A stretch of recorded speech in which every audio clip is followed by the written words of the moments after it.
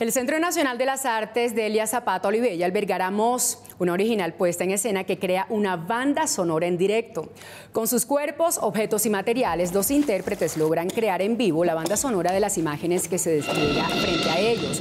Gracias a su ingenio, agilidad y talento para la danza, los bailarines crean una experiencia en vivo que se desarrolla a través del diálogo, el sonido y el guion cinematográfico. El espectáculo sonará el 26, 27 y 28 de julio.